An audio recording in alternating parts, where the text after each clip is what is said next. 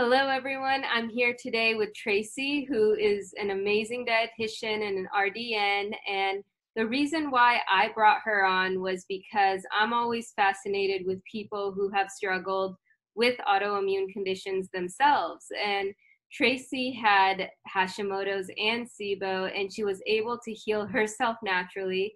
And now she's helping her clients do the same thing. And I'm a big advocate of healing naturally from autoimmune conditions. So now you have two people here helping you heal naturally. And um, welcome, Tracy. I would love for you to share your story with us. Yeah, thank you so much, Letta. I'm glad to be here. Thanks so much for inviting me on. Um, so basically, I had never heard of Hashimoto's. Um, in fact, the first time I heard of it, I was like, what is that? I just had no idea, even as a dietitian um, early in my career, what that was. And so, about five or six years ago, um, I developed some abdominal pain, and it was just like a persistent aching pain that wouldn't go away. And I went to my Western doctor, my normal primary care provider, to get a workup and left with the diagnosis of IBS, which basically meant she didn't know what was going on, but she couldn't find anything seriously wrong. So that wasn't quite satisfactory for me. I wanted an answer. I didn't want to live in pain. So I actually sought out the care of a naturopath um, who takes a more holistic, natural approach to healing. And I had never worked with a naturopath before. But I figured if I'm going to figure this out, I'm going to have to try something new. So I went to this naturopath, and it was like she was reading my mind, asking me about my symptoms. Do you have this symptom? Do you have that symptom? It's like, yes, yes. How did you know that? and she diagnosed me with Hashimoto's and with SIBO, which is small intestinal bacterial overgrowth. And all of a sudden, all of these symptoms that I had fatigue, brain fog, um, digestive issues, um, my period was gone, all of these different symptoms all came into place and made sense together with that diagnosis of SIBO and Hashimoto's. And so that kind of launched me into years of learning about natural and holistic healing and basically experimenting on myself, learning how to heal autoimmune disease and digestive disorders naturally with you know other interventions supplements medications if needed but primarily with a diet and lifestyle approach.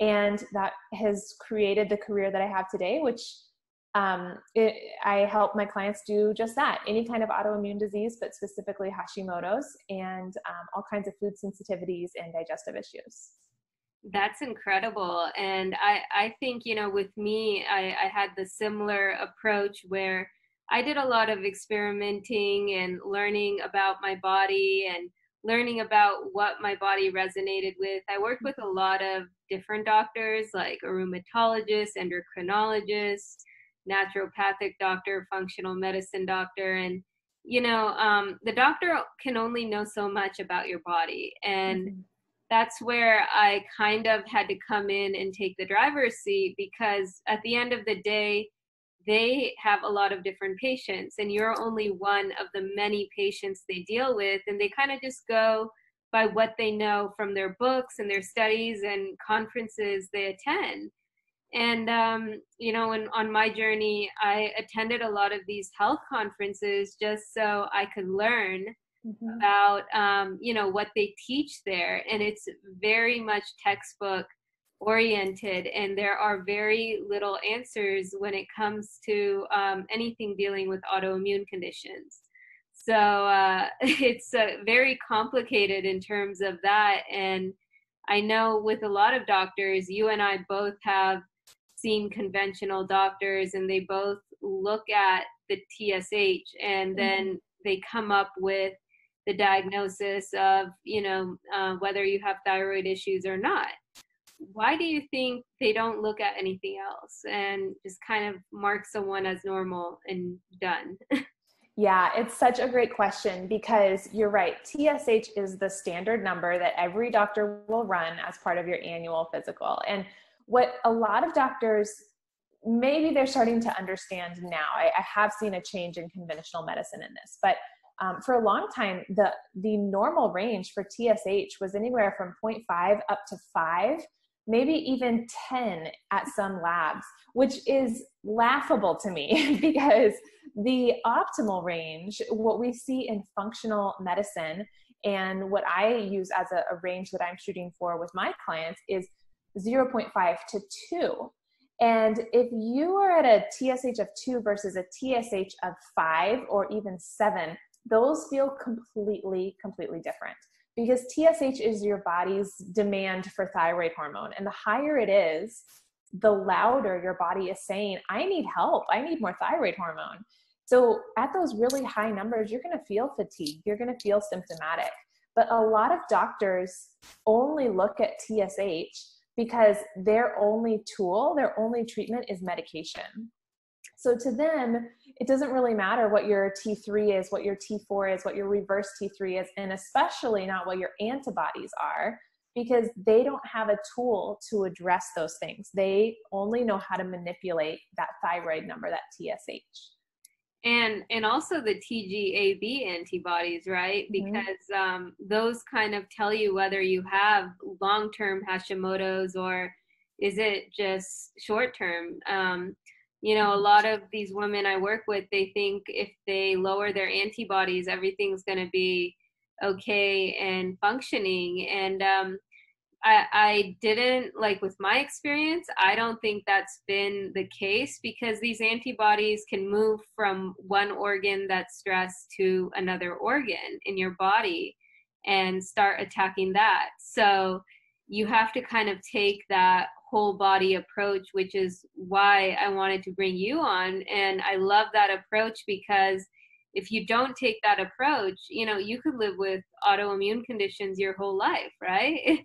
Yeah, absolutely. And that I think is the crucial difference that um, Western medicine, most conventional doctors treat that TSH to a number, whereas with a functional approach, we are looking at the root cause, asking why is the body attacking itself in the first place? Because you're right, if that root cause is not addressed, then even if we get that thyroid to target, that autoimmune process can switch to another organ. Um, there are a bunch of different autoimmune diseases out there, and they all have those common, they all share some common roots, autoimmunity in general. And so it's so important to address that so that you can truly live a full and healthy life. Exactly. And I think, you know, with autoimmune conditions and them like the antibodies going from one organ to another, a lot of these women, you know, they face a challenge when they when it comes to just healing. That it's like they tried food, they tried having the clean diet and um, it's not working. They're working out. Um, they're doing all these things and following protocols to a fault and not seeing results. Do you see that a lot with your clients? I do, um, because I think there are some key things that get left out of the picture. I think stress is really underestimated. Um, the impact that stress can have on our bodies, on our health, and specifically on our thyroid. Um, lifestyle, uh, so you mentioned diet, you mentioned exercise, you mentioned protocols, but lifestyle, are we doing things that we enjoy? Um, you know is our life fulfilling? That's that's an important thing. Mindset is super super important um, just really trusting that our bodies can heal and knowing that they're capable of that. Um, digging for hidden root causes like heavy metals or mold toxicity or viruses those things if not addressed you can be eating a perfect diet and you can be exercising. It, you can even be managing your stress but if you haven't addressed those root cause triggers then you're not going to experience full healing yeah, that's so interesting because with my sort of diagnosis, I it took me four autoimmune conditions to understand that you know my genetics played a bigger role than I thought it did. And mm-hmm. um, growing up, you know, I saw that my dad had a lot of skin problems, like a lot of um, hypopigmentation sort of issues, and mm-hmm. you know, my mom she had uh, something called psychosis, which is uh, mental sort of issue and um, you know and then as i grew older i'm like okay maybe i need to look into my genetics and i found out why i was like i had all these markers for oxidative stress for mm-hmm. inflammation you know, and um, they were definitely turned on. And to turn them off, you have to have the right supplements to be able to get in the right pathways of your body and have them work, right? Yeah, there's a lot of tools out there. And I know for myself, when I first started, it felt really overwhelming to try and figure out what do I do? Where do I spend my money? What's worth investing in? How do I know if this is going to work for me? And part of it is trial and error and part of it is having like a resource to turn to as well right and then um so i have a question here for you from yeah. another woman and she says i have tried to tell doctors that i can physically feel myself flip from hypo to hyper vice versa even with no medication change do you think this is possible i have not had a stable tsh for over three years Yes, this is such a good question because I can relate to this. When I was in the beginning of my journey, I was looking at two charts, one for hypothyroidism and one for hyperthyroidism. And I had symptoms on both. And I was really confused because I didn't understand the process of Hashimoto's in the beginning. But what happens is as the body is attacking that thyroid gland, it's breaking down that tissue. And over time, thyroid hormone gets dumped out of the thyroid and into the body and that's what creates these hyperthyroid situations so that phenomenon is called a swinging thyroid where you swing from hyper to hypo to hyper to hypo.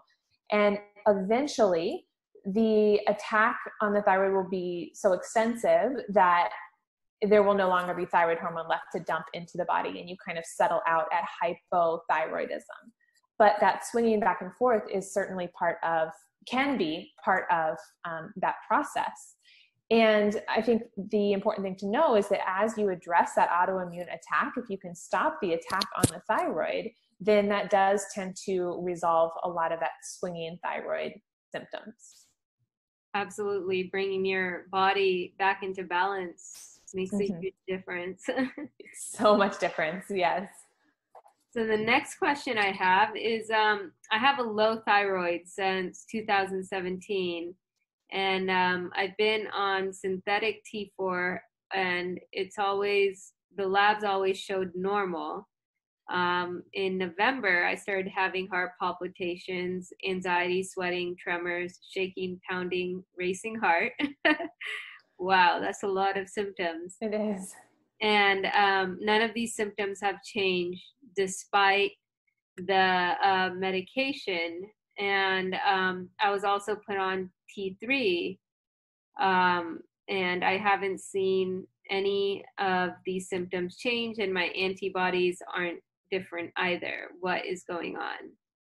Yeah, so it's a great question. Um, there's a couple of things that come to my mind here. First of all, that autoimmunity can take time to develop. So this person mentioned that um, she had always had normal and stable labs, and then just in November, she developed all of these symptoms heart palpitations, anxiety, sweating, tremors, racing heart. I mean, that's that's scary stuff. Um, and that can happen when that attack on the thyroid becomes so progressive, it, does lead to that tissue damage, and we start to see these symptoms manifest. Um, to address the lab component, I'm not sure which labs um, are being referred to here, if it is TSH, T3, T4, or if it's the antibodies that haven't changed. But um, what I would say is that let's just look at the antibodies in particular. If those antibodies haven't changed despite the medication change, what that points to is a need to dig for the root cause. So, kind of going back to the beginning, what we talked about a little bit ago, we can use medication to treat our TSH and get our thyroid numbers to a particular target. But the antibodies are the marker of autoimmune process in the body. And those are going to stay elevated if, as long as there is a trigger that is continuing to cause them to be elevated. So, um, that means digging into could it be gut infections? Could it be stress? Could it be nutrient deficiency, deficiencies? Mm-hmm. all of those things um, contributing to that. And what's so insane about this is that you know i took um, Armour Thyroid and my symptoms amplified. Like mm. i started getting hair loss. I was gaining weight. I started feeling very tired. And I told my doctor and he was like, "Oh, you know, sometimes it gets worse before it gets better." no, and I was like, "No, you're not supposed to be losing hair. That's just straight unhealthy." Right. and so I took myself off of that and then a month later I'm like, "All right, I'll just try nutrient therapy and then that wasn't you know i think the effects of that Armour Thyroid just carried on Mm-hmm. Um, and then, you know, he put me on Tirosint um, and mm-hmm. also uh, LDN. Yeah. The LDN would decrease my antibodies. It's actually, it increased them. Hmm. Um, um, it was like 180 to, then it jumped to like 370. Wow. So um, I stopped taking all of it and I, it, it just so happened that I was at a muscle testing place and they told me um, my adrenals were the issue. So, you know, when I started fixing my adrenals, um, my thyroid numbers jumped back to normal.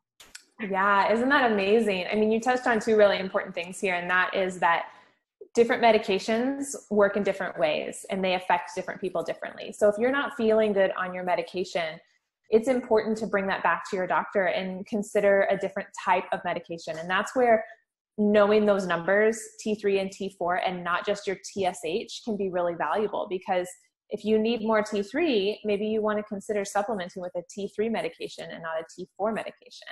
So I'm I'm such a fan of understanding the different types of medications and having that dialogue with your doctor about which one would be best for you.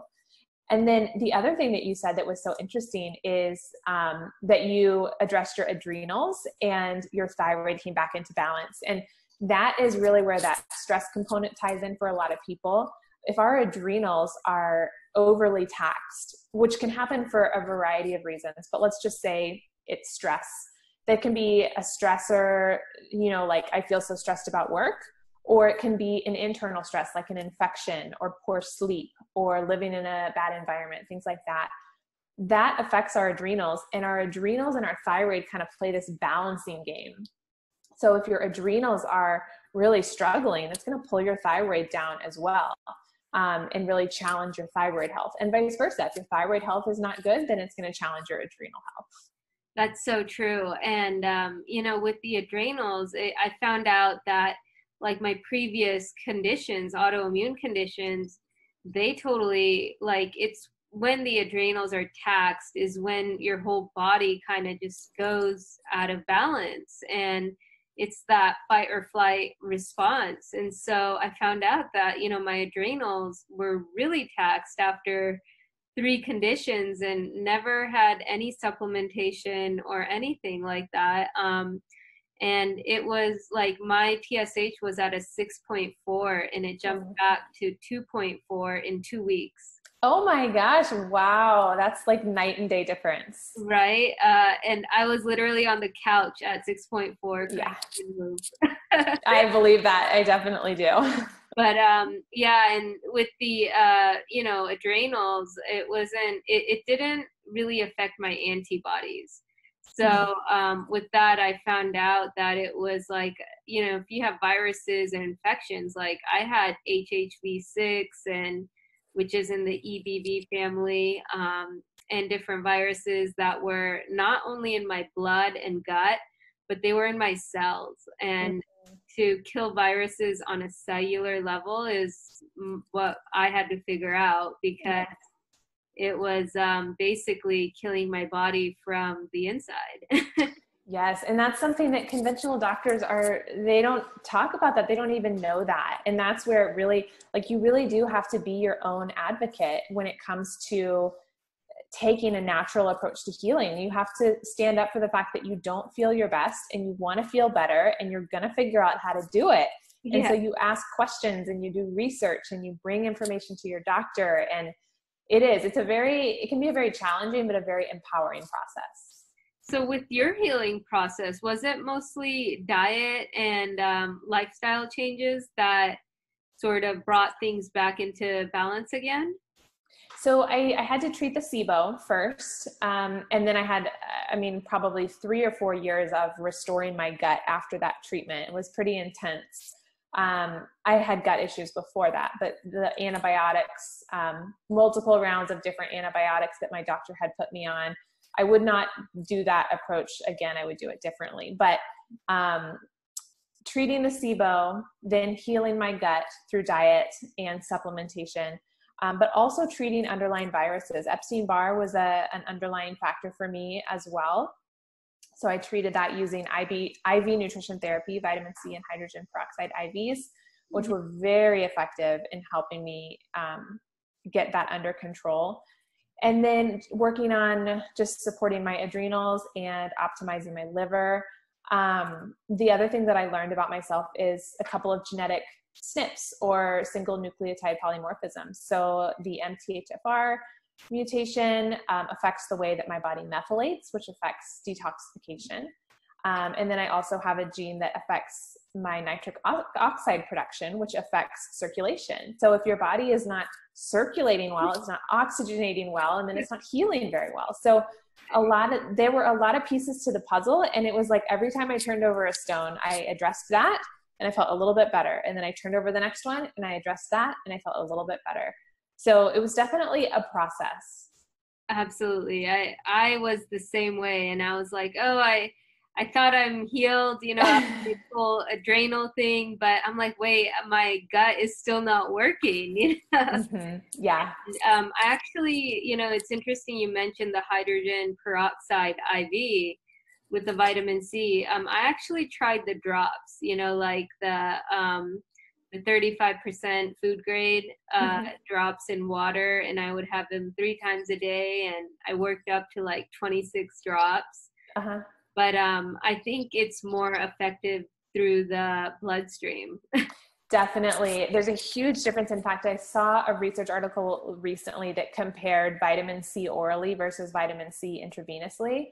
And the vitamin C orally, your body maxes out at absorption at a certain level and it could only i forget the specific numbers but the the blood level achieved of vitamin c was magnitudes lower than what you can achieve with even just a very small dose iv so it was interesting to me to see how powerful they really can be Wow. And you did like years of this, huh? Like I did. I did. This is, you know, from the girl who would run from a needle growing up. Um, I did IV therapy twice a week for um, a few months, and then once a week for a few months, and then um, twice a month for about another year. So wow. it was a lot. Um, and now I just use them as needed. You know, if I feel like I need a little boost or something coming on, I'll go get one. But it was it was an investment uh-huh. of both time and money um, but it was instrumental in my healing i would say just because it addressed my specific root cause very effectively yeah you know i i think hydrogen peroxide is amazing a lot of people don't really consider it because they don't know about it in their healing so yeah. Um, yeah. that's a great one and then let's see um, the next question i have here has to do with SIBO and eating clean, um, but the inflammation is horrible. It's so difficult. I have IBS, SIBO, leaky gut, testing, testing. I can never get the correct answers. How do I fix this? yeah, it can feel overwhelming. And so, what I usually recommend with my clients is I start everyone with a simple elimination diet. I have a lot of people who come to me and they want to do this test and that test and all of these expensive things. Um, and I usually say, let's just start with a, a basic elimination diet. is usually something along the lines of like a paleo template um, that eliminates the most common triggers grains, dairy, soy, corn, things like that. And my, my first goal is to see if we can find a lower symptom or an asymptomatic baseline, basically to just support quality of life. Um, I want to get those symptoms under control as quickly as possible. So sometimes we're pulling more foods out until we can find something that is manageable. And then when we find that baseline, sometimes we can't, but hopefully we do. Um, that's when then we start to assess okay, if we bring this food back in, what happens? How does that affect me? And that kind of starts to help me build a picture depending on the response and the symptoms helps me build a picture and understand what might be going on. Is it bacterial? Is it functional? Is it structural? Um, things like that. So that's when then I may decide to do stool testing or um, refer out for like a scan of some kind or use herbals or herbal anti antibacterials or antivirals, things like that. But usually it starts with an elimination diet, and then if that, you know, if we need to dig a little bit further, bringing in some of those other tests. I so agree with that. Um, you know, it's interesting because a lot of these doctors, including all the doctors I went to, were so keen about putting people on supplements, but yeah um, you know, what's the point of being on a supplement if your body can't absorb it and you have yeah. all this inflammation?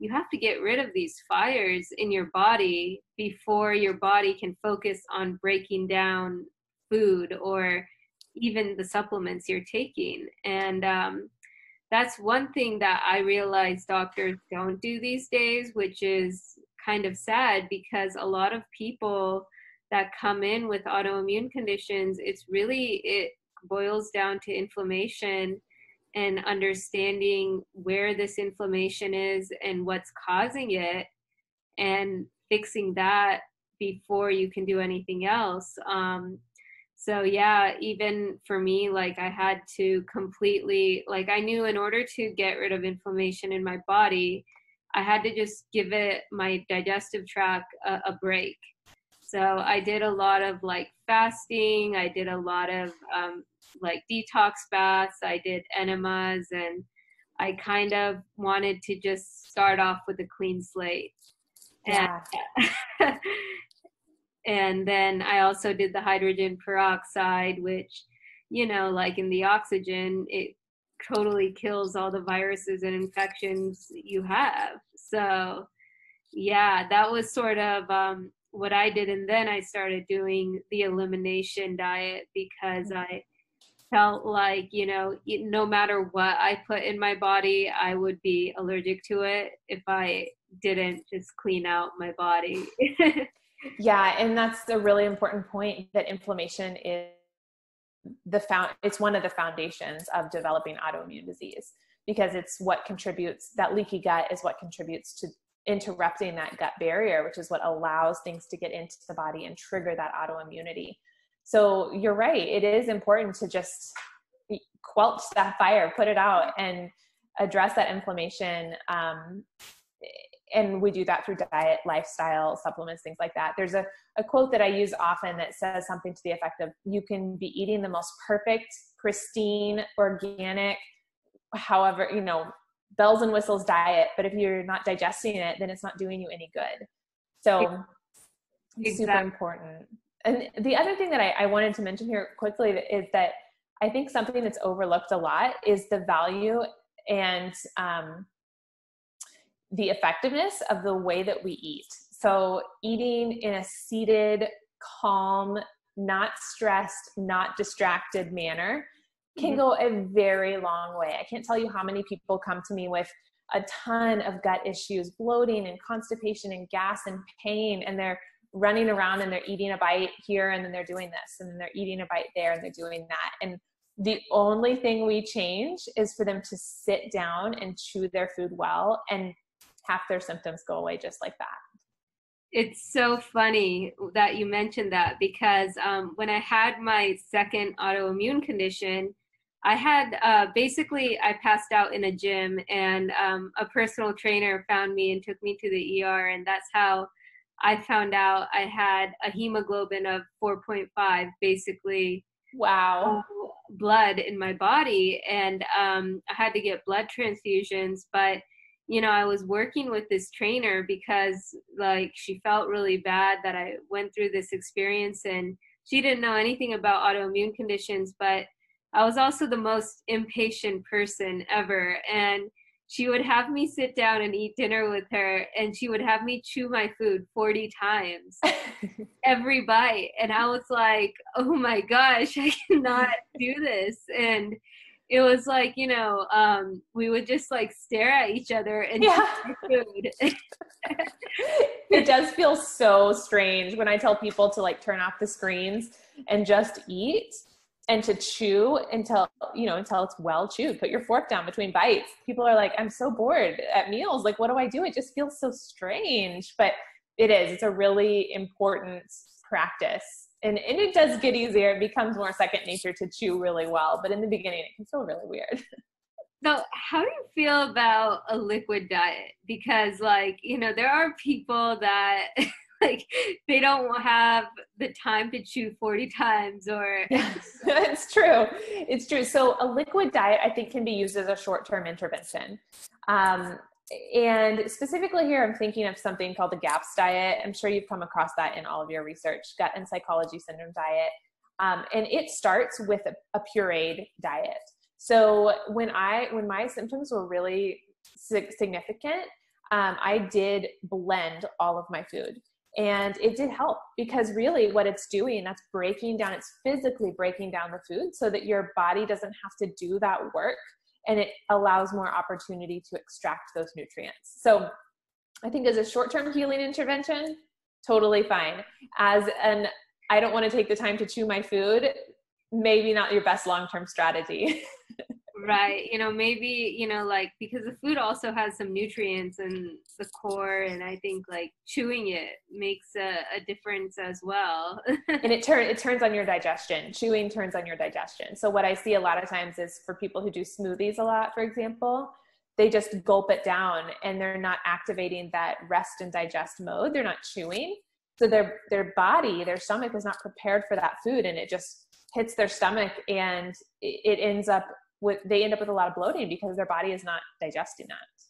Wow. Yeah i i mean that's why i kind of i mean if i have a smoothie i have something i eat with it. I mm-hmm. i don't just drink something. I don't think i could do that diet. It's just not i know. I like chewing my food. Yeah um i think we've answered this question but uh, what is normal tpo antibodies what is considered high and um, can high TP uh, can high antibodies cause fatigue, weight gain, loss of eyebrows, brain fog, and hair loss? Yes. So this is a great question because it kind of ties everything together here. So yes, all of those are really common symptoms of Hashimoto's: fatigue, weight gain, loss of hair, eyebrows, eyelashes, brain fog, um, irregular periods, um, cold hands and feet, etc super common symptoms of Hashimoto's.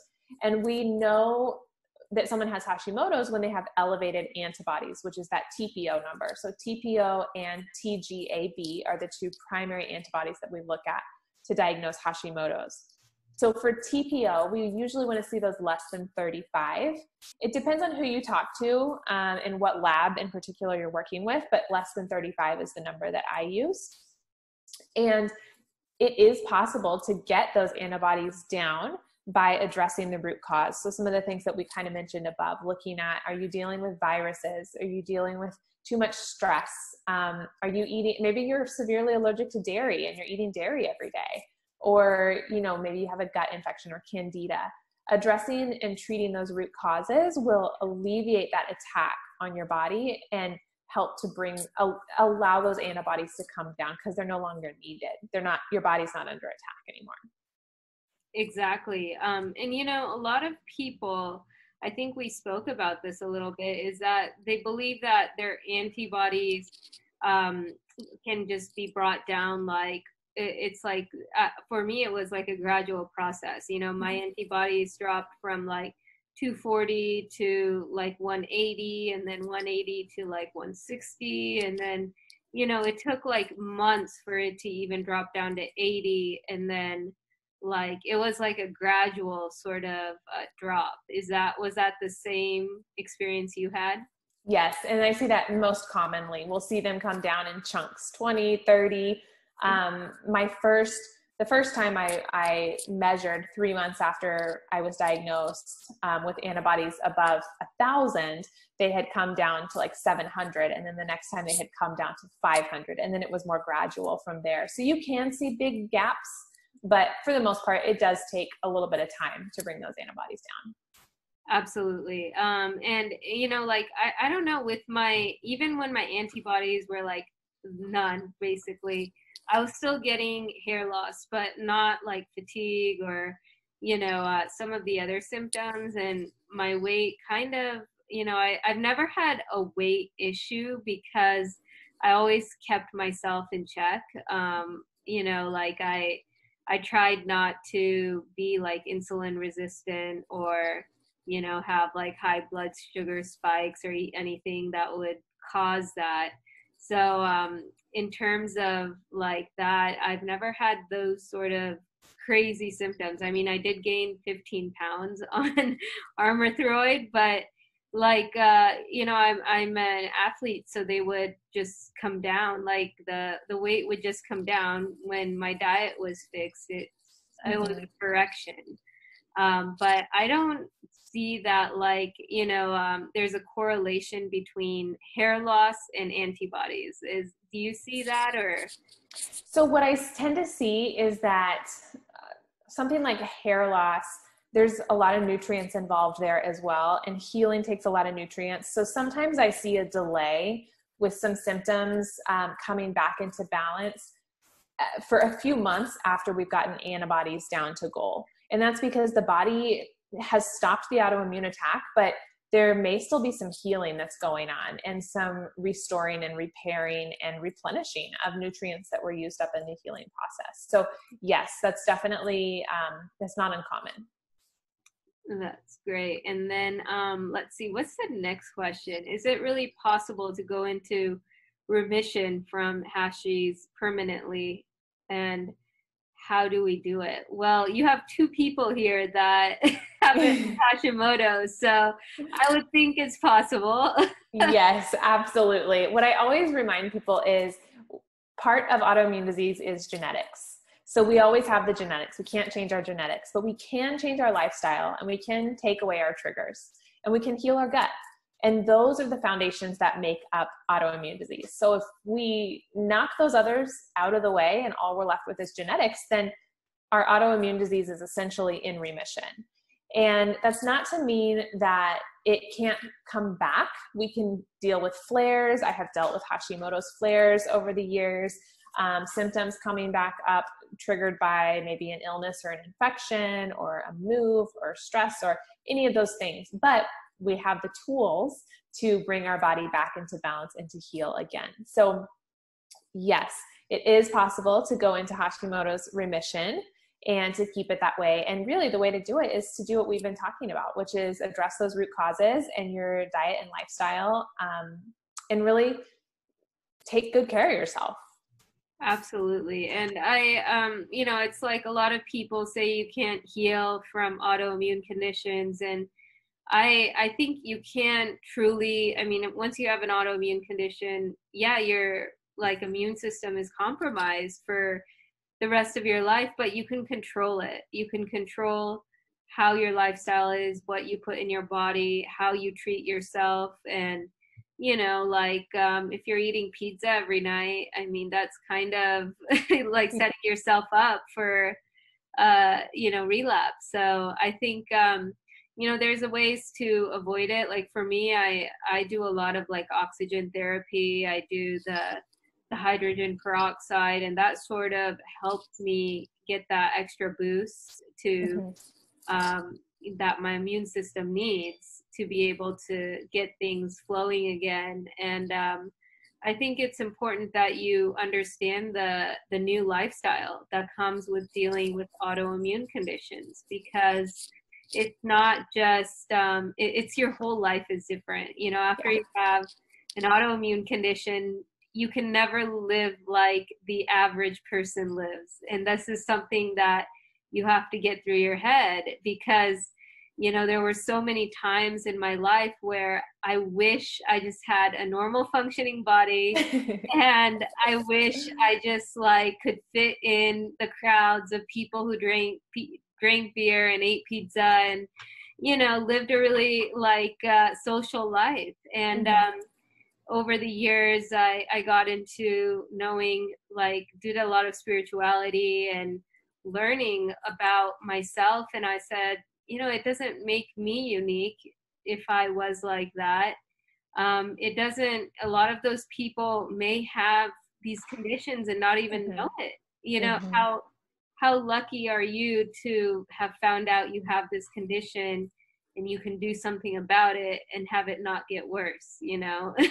Yeah absolutely. I, I can relate to that. There have definitely been times where i wish i could just go to the local food stand you know food truck or food stand and just like buy some food and not have to ask all of these questions about it. And there are certainly some inconveniences that come along with this new life but at the same time i'm so grateful because it has allowed me to understand my body and empower me and equip me to care for my health so much more effectively than I I did in the past. I mean, I lived a very standard American life, very standard American diet, and Hashimoto's basically has given me this opportunity to care for myself and to teach others how to do that as well.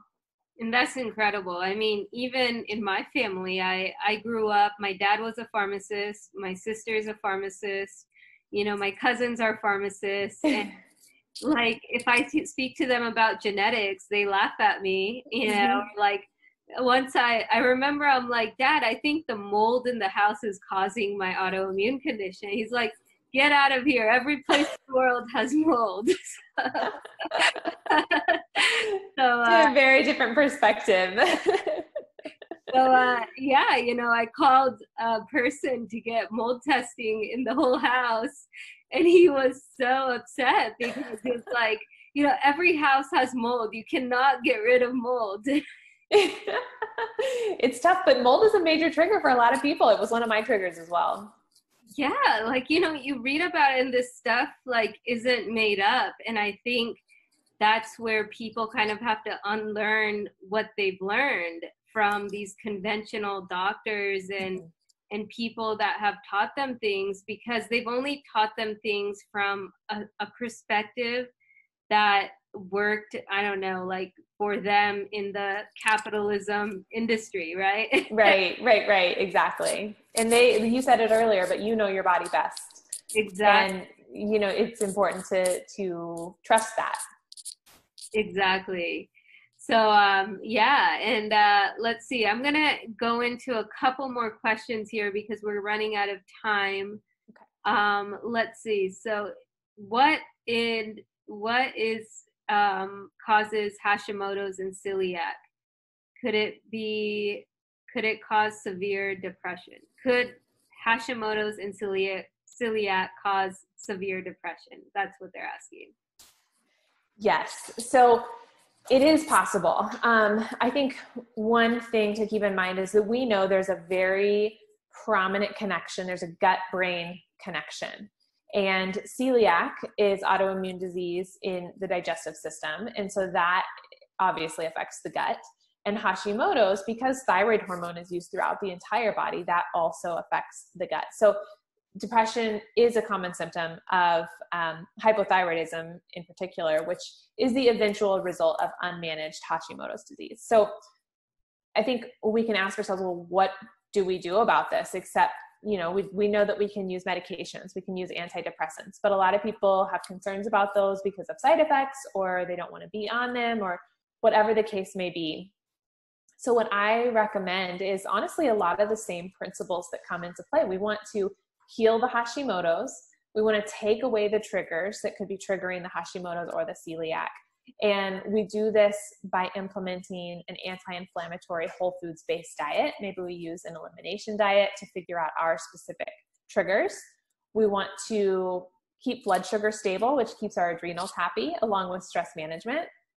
Um, we want to work with our doctors to optimize our thyroid levels because um, hypothyroidism is associated with depression. Um, a couple of other things, just ge- like gentle movement and getting outside, getting in the sunshine, those simple, simple things can go a really long way. And then being a part of a community that is supportive. So for me, I found a lot of supportive people um, on Instagram and on Facebook in the beginning days of my journey where I didn't know anyone else in real life who was dealing with Hashimoto's and on a restricted diet and dealing with my symptoms. And I was able to find community online, and that made a huge difference for me. Um, so, community, and then just embracing things that you love to do, like what brings joy to your life. And I think a lot of these things are underestimated, but they really can make a big difference there. You're so right. I mean, even for me, it's like when you live a totally different lifestyle that the average person doesn't live, you know, you kind of get made fun of. You mm-hmm. you get laughed at and people it's because people don't understand you.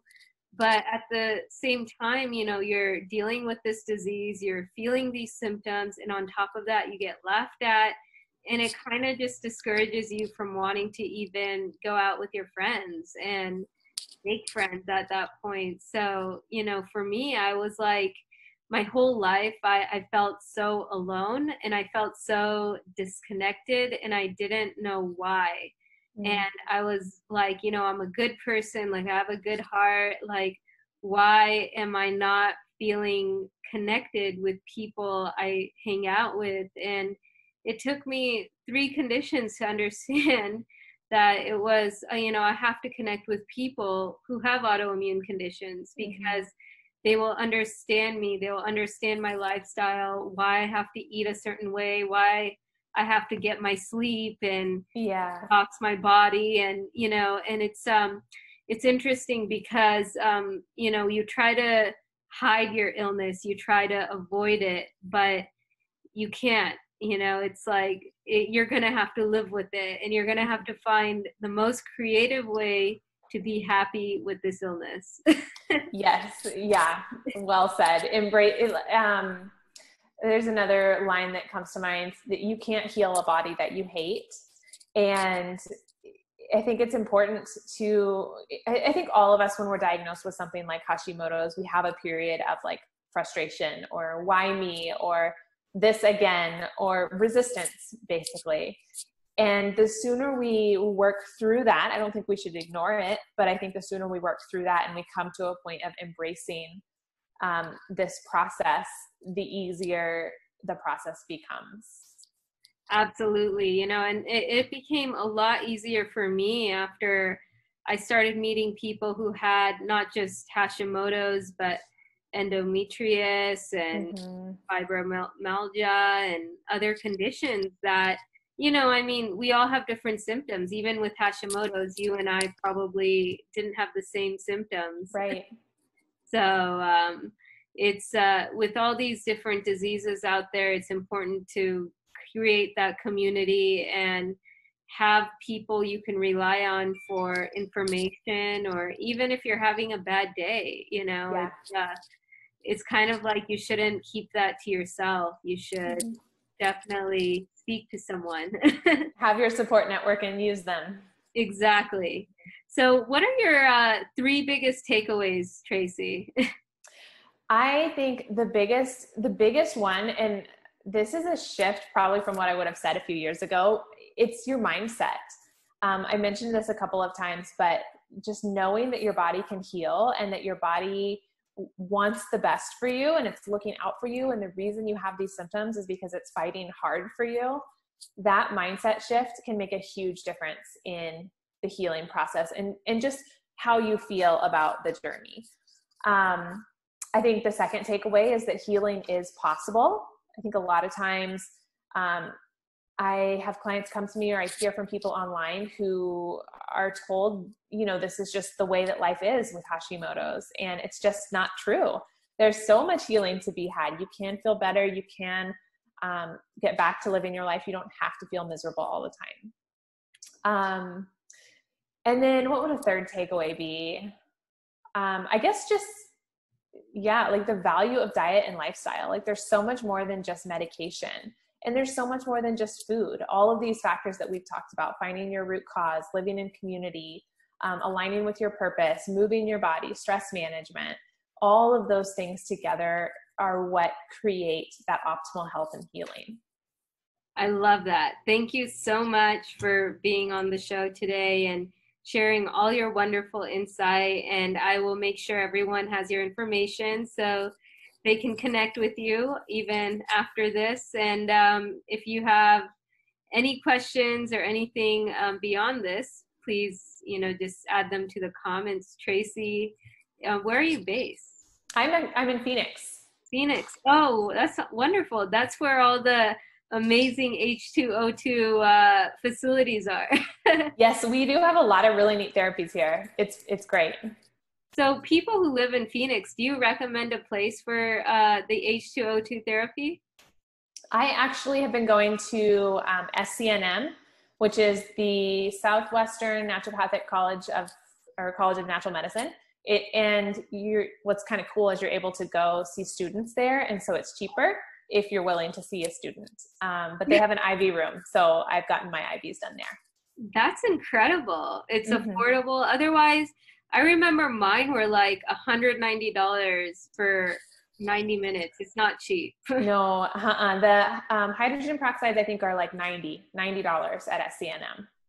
That's an incredible resource. So yeah. I think we should have a retreat in Phoenix sometime. Yeah. Seriously, come on over.